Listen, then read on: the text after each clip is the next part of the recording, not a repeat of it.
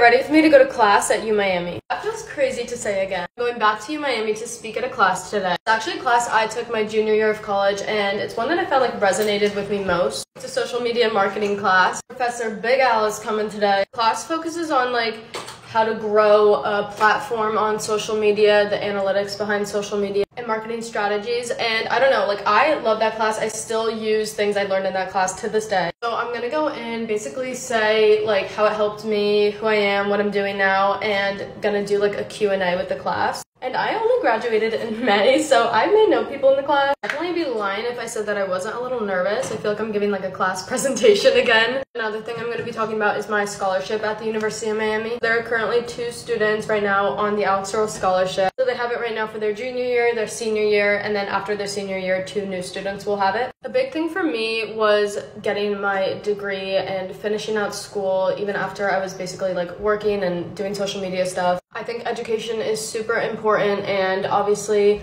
I loved the University of Miami, so I want to be able to have students also able to follow their dreams. I don't talk too much about what goes on on like the business side of things, like behind what I'm posting, but what I learned in classes truly does help me so much, and I think education is just, it's super important. Now, did I miss a few classes here and there because I was traveling around? Maybe. But my senior year, they were very understanding and they were able to like accommodate me, my schedule, and help me finish out the year. And obviously social media marketing is a huge thing and it's still kind of new and a lot of brands are putting their money into social media marketing so I think it's important to like talk to younger students and kind of educate them on it just because it is like a new topic.